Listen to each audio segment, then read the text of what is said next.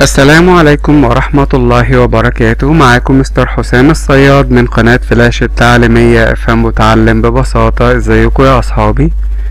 النهاردة إن شاء الله بنكمل شرح منهج Discover اكتشف KG 2 الترم التاني. ولسه بنكمل مع بعض شرح chapter 3 أو الفصل الثالث to market أو إلى السوق to market.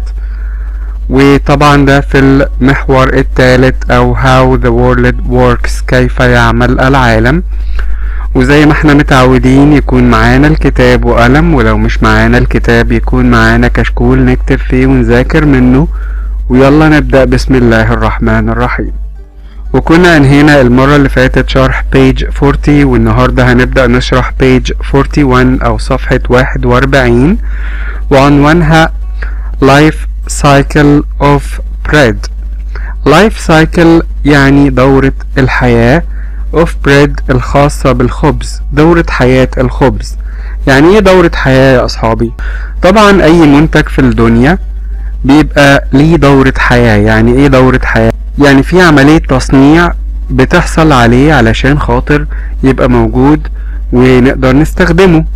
فبيبقى في موارد طبيعية أو resources أو material. ال material دي بناخدها وبنعمل عليها عمليات تصنيع ونصنع منها ال good أو المنتج اللي إحنا بنستخدمه في حياتنا. فده بنسميه life cycle أو دورة الحياة اللي هي بتحكي لنا حكاية المنتج من وهو material أو resource أو مصدر طبيعي أو مورد طبيعي بنستخدمه لغاية ما بيوصل في إيدنا بعد ما يتم عليه عمليات التصنيع كلها في شكل منتج نهائي أو في شكل بضاعة أو في شكل good نقدر نستخدمها ونستفيد منها في حياتنا. فال life cycle دي أو دورة الحياة الخاصة بأي منتج دي بتقول لنا المراحل اللي بيمر بيها المنتج ده علشان يوصل لنا في إيدنا. هنا بيكلمنا عن ال life cycle بتاعت ال bread أو الخبز. life cycle of bread life يعني حياة. و cycle يعني دورة. of bread bread يعني خبز. دورة حياة الخبز. فهنا بيقول لنا think think يعني فكر about about في. The order the order ترتيب of the life cycle اللي هو الخاص بدورة الحياة. Of bread الخاصة بالخبز. فبيقول لك فكر في ترتيب دورة الحياة الخاصة بالخبز. Number يعني ضع الرقم. The picture الخاص بكل صورة in order بالترتيب. Draw ارسم the final step. The final step الخطوة النهائية. يبقى مرة كمان. Think about. فكر في the order of the life cycle of bread. ترتيب دورة الحياة الخاصة بالخبز. Number the pictures in order. ضع الأرقام الخاصة بالصور بالترتيب الصحيح. Draw ارسم the final step. Final يعني نهائي. و step. Step يعني الخطوة. Draw the final step. ارسم الخطوة النهائية.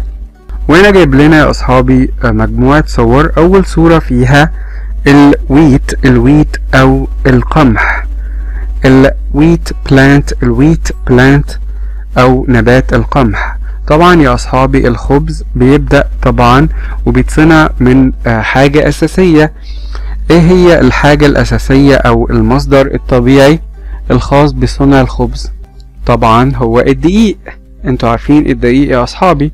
الدقيق ده يا أصحابي بيتعمل منين؟ الدقيق ده بيتصنع من القمح. بنجيب القمح أو ال wheat ونزرعه. وبعد ما نزرعه بنعمل عليه عمليات معينة علشان يوصل في الآخر بشكل الخبز أو ال bread اللي إحنا بنقدر ناكله أو نحضر نقدر نروح ال market أو السوق ونبيعه لو إحنا شغالين مثلا baker أو عندنا bakery لو إحنا شغالين خبازين أو إحنا عندنا مخبز.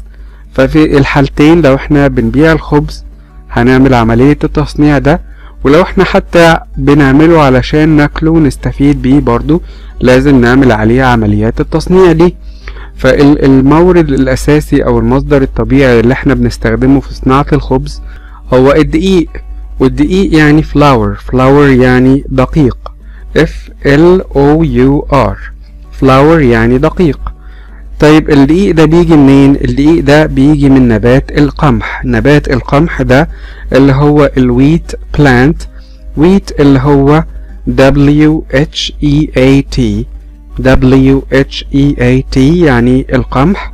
وطبعا القمح هنا هو أول صورة في ال life cycle وهي number 1 فهنكتب على الخط اللي تحت منها ده أو على ال line اللي تحت منها ده number 1 طب بعد كده يا أصحابي بناخد ال wheat plant أو النبات بتاع القمح ده ونعمل عليه عملية معينة.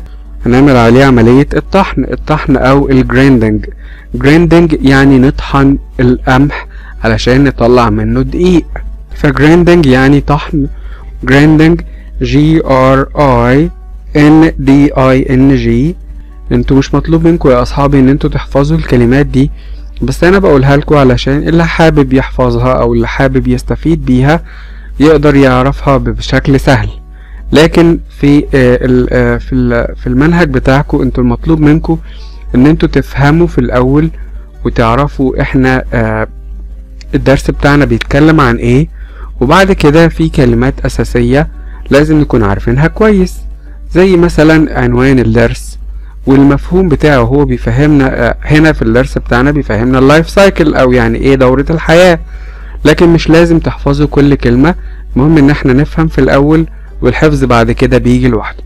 فالمهم إن إحنا هنا بنعمل على القمح عملية ال grinding ال grinding أو الطحن وبنطحنه علشان نطلع منه ال flour فالمفروض هنكتب على الخط أو ال line اللي هو تحت الصورة دي number كام يا أصحابي؟ number 2 number 2 شاطرين number 2 يعني رقم اتنين طب بعد ما بنطحن القمح علشان نطلع منه ال flour أو الدقيق اللي إحنا بنستخدمه بناخد القمح بناخد الدقيق ده ونديه لل baker أو الخباز علشان يعمل منه العجين ويعجنه. عجين يعني dough dough يعني عجين. D O U G H يعني عجين أو dough إحنا آه بناخد الدقيق ده ونديه لل baker أو الخباز بيحط عليه المية ويحط عليه المواد اللازمة علشان يعمل العجينة الجميلة اللي بعد كده بيصنع منها الخبز. ودي الخطوة number كام يا أصحابي؟ المفروض نكتب على ال line اللي, تحت الصورة دي. رقم كام؟ number 3 number 3 شاطرين يعني رقم 3 فدي الخطوة التالتة. وفي المربع الفاضي المفروض بيبقى فيه ال final step. final step أو المرحلة النهائية زي ما قلنا. final يعني نهائي و step يعني مرحلة أو خطوة. المفروض هنا بيبقى فيه هنا شكل الخبز الجميل اللي إحنا بناكله زي ما إحنا شايفينه قدامنا. ودي المفروض إن هي number كام يا أصحابي؟ number 4 number 4 أو رقم أربعة. وبكده نكون انهينا ال page دي وعرفنا ترتيب ال life cycle أو دورة الحياة of bread of bread أو الخاصة بالخبز. ونتنقل لل page اللي بعد كده خليكم معايا. ونوصل لبيج 42 أو صفحة 42 وعنوانها water water المياه. In a small town in a small town أو في مدينة صغيرة. Water in a small town. المياه في مدينة صغيرة. هنا يا أصحابي بيكلمنا عن المية وأهميتها ولازم نبقى عارفين إن المية دي من الحاجات الأساسية اللي الإنسان بيحتاجها لأن إحنا كلنا بنحتاج نشرب مياه أو water. دي حاجة من الحاجات الأساسية اللي الإنسان بيحتاجها ومن غيرها ممكن يموت. فهنا بيكلمنا وبيقول لنا إن ال water لو هي في مدينة صغيرة أو small small يعني صغير و town town يعني مدينة فبيقول لنا هنا think think يعني فكر what happens what happens يعني ماذا يحدث when it rains when it rains يعني عندما تمطر rains يعني تمطر يعني المطرة تم تمطر. أنتوا عارفين المطرة طبعا يا أصحابي. What if ماذا لو؟ Water collects water collects يعني المياه تجمعت. Water يعني مياه collects تجمعت. In the middle in the middle في منتصف of town of town المدينة. لو ال- المية بتاعة المطرة دي اتجمعت وحصل لها collects أو تجمعت. In the middle in the middle في منتصف of town المدينة. لو المية دي اتجمعت في منتصف المدينة هيحصل إيه يا أصحابي؟ طبعا الأرض لو كانت مش نظيفة المية دي هتاخد القاذورات والرابج المهملات بتاعة الناس وهتجمعها معاها وتوصل لمنتصف المدينة. فالأرض بتاعة المدينة لو مش نظيفة المية هتتجمع في المنتصف وهي مش نظيفة برضو ومعاها القاذورات والمهملات بتاعة المدينة. طب لو الأرض بتاعة المدينة نظيفة وجميلة والناس ما بترميش القاذورات في الشوارع وما بترميهاش في الطرقات والأرض نظيفة. المية لما تيجي تتجمع in the middle of town أو في منتصف المدينة هتكون المية دي نظيفة ولا المية دي مش نظيفة؟ هتكون طبعا نظيفة.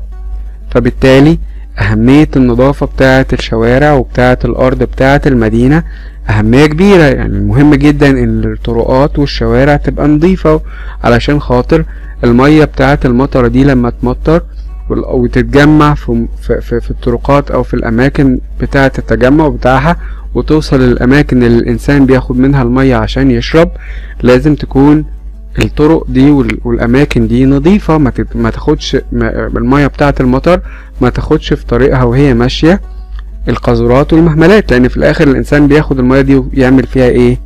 يشربها يشربها فبالتالي إحنا محتاجين المية دي تتجمع وهي شكلها نضيف ونضيفة فبيقولك هنا لو المية دي اتجمعت in the middle of town في منتصف المدينة is the water safe to use لو هل يا ترى is the water هل يا ترى المياه دي safe آمنة؟ safe يعني آمنة to use في الاستخدام نقدر نستخدمها بشكل آمن؟ هل يا ترى نقدر نشربها؟ use this page استخدم الصفحة دي to draw your observation. To draw لترسم your observation الملاحظات بتاعتك. observation يعني ملاحظات. فزي ما قلنا يا أصحابي إن الطرقات وال- والنظافة بتاعة المدينة بتأثر على المية اللي بتتجمع بعد كده. لو الطرقات والأماكن الأرض بتاعة المدينة مش نظيفة المطرة لما تمطر هتتجمع وهتبقى برضو مش نظيفة لأن هتاخد معاها القاذورات والقمامة. لكن لو الأرض نظيفة المية لما تيجي تتجمع وتوصل للأماكن اللي الإنسان بياخد منها المية علشان يشرب طبعا هتوصل نظيفة وبالتالي هتبقى safe to use أو آمنة للاستخدام والإنسان مش هيحتاج يقعد يعمل عملية عمليات تنظيف كتيرة عشان بعد كده يستخدمها ويشربها. فهنا بيقول لنا استخدم الصفحة دي علشان ترسم الملاحظات بتاعتك. فهنا أول حاجة حاجة مرسوم آه، مربع وموجود فيه مربع آه، أحمر أو red square مكتوب فوق منه ground ground يعني الأرض before rain before يعني قبل rain المطر. فهنا المفروض هنرسم في المربع ده شكل الأرض قبل المطرة هنا موجود ال ground before rain. فنرسم هنا طبعا الأرض فيها حتة نظيفة فيها حتة مش نظيفة علشان خاطر لو آه، ال- الحتة النظيفة المية المطرة بتاعت آه، المية بتاعت المطرة لو مشيت فيها هتبقى نظيفة ومش هيحصل فيها حاجة. والحتة اللي مش نظيفة لو ال- المطر المية بتاعت المطرة مشيت فيها هتاخد في, طريقها القمامة وبالتالي المطرة المية بتاعتها مش هتبقى نظيفة وهتوصل للناس وهي مش نظيفة ومش هنقدر نستخدمها بشكل سيف أو بشكل آمن. بعد كده هنا في الصورة التانية ground after rain ground يعني الأرض after after يعني بعد rain بعد المطر وطبعا هو رسم لنا بقعة آه، مياه هنا أو أو دايرة كده على شكل مية ممكن نلونها باللون الأزرق علشان نعبر إن دي المية بتاعة المطرة. لما مطرت وآخر حاجة في ريكتانجل هنا أو مستطيل كبير هنا في آخر الصفحة وهنرسم هنا في المربع ده يا أصحابي مصدرين للمية النظيفة اللي إحنا نقدر نستخدمها بشكل آمن. مكتوب فيه safe to drink. safe يعني آمن. to drink لإن هو يتشرب. فسيف to drink يعني آمن للشرب. فنرسم في الريكتانجل ده يا أصحابي مصدرين من مصادر المياه اللي إحنا نقدر نستخدمها بشكل آمن زي الصنبور ومياه الصنبور أو الحنفية يعني. وبرضو ممكن نرسم زجاجة مية معدنية المية فيها نظيفة وجميلة ونقدر نشرب منها. فدول المصدرين اللي إحنا نرسمهم زي ما إحنا شايفين قدامنا ودول safe يعني آمن to drink to drink للشرب آمن للشرب. وبكده نكون أنهينا البيج دي ونتنقل للبيج اللي بعد كده. خليكم معايا. ونوصل لبيج 43 أو صفحة 43 وعنوانها where where يعني أين؟ should should يجب سارة شوب. سارة شوب. إن سارة تعمل عملية التسوق بتاعتها. ف where should سارة شوب أين يجب أن تتسوق؟ سارة. وهنا بيقول لنا سارة needs to buy. سارة needs يعني سارة تحتاج to buy أن تشتري. bread خبز eggs بيض and milk and milk ولبن أو حليب which store أي store أو أي متجر can she go can she go هي تستطيع أن تذهب to إلى for these items for these items علشان تقدر تشتري الحاجات دي أو العناصر دي فمرة تانية سارة needs to buy bread eggs and milk Which store can she go to for these items? إن هي أي متجر تقدر تروح هي علشان تشتري العناصر ديت. ومدينا هنا تلات صور يا أصحابي ل ل 3 stores أو لتلات متاجر مختلفة. أول صورة فيها ال store بتاع ال furniture أو الأثاث ده. هل يا ترى المتجر بتاع ال furniture أو الأثاث ده هل يا ترى تقدر هي تشتري منه ال bread وال eggs وال milk ولا ولا ما تقدرش؟ No. No no, لا. شاطرين. فبالتالي مش هتقدر تشتريها منه. فهنشوف هنا في الجنب بتاع الصفحة smile face و sad face هنعمل إيه؟ هنلون ال sad face ده وهن وهنلونه تعبيرا إن المتجر ده هو المتجر الغلط. طب تاني صورة بتاعة السوبر ماركت. هل يا ترى السوبر ماركت ده تقدر هي تشتري منه ال bread وال eggs and milk ولا لأ؟ Yes. Yes شاطرين. Yes يعني نعم. وبالتالي هنقدر نلون ال smile face ده لأن المتجر ده هو المتجر الصحيح اللي هي ممكن تشتري منه. طب تالت صورة فيها المتجر بتاع ال clothes store أو متجر الملابس ده. هل يا ترى هي تقدر تشتري من ال clothes store أو متجر الملابس؟ ال bread وال eggs and milk ولا لأ؟ No. no no, فبالتالي هي مش هتقدر تشتريها منه فعلا. فبالتالي لازم نلون هنا ال sad face أو الوجه الحزين ده لأن المتجر ده هو المتجر الخاطئ. وبالتالي آه هي مش هتقدر تشتري منه الثلاث حاجات دي. وبكده النهاردة يا أصحابي نكون أنهينا شرح الدرس. لو أعجبك الدرس أعمل like والأهم إنك تشارك الدرس ده مع أصحابك على مواقع التواصل الاجتماعي والفيسبوك وخليك متأكد دايما إن في حد غيرك محتاج المعلومة بجد وهتفرق معاه كتير وإنت مش هتخسر حاجة بس غيرك هيستفيد. وفي الختام أستودعكم الله الذي لا تضيع ودائعه. والسلام عليكم ورحمة الله وبركاته.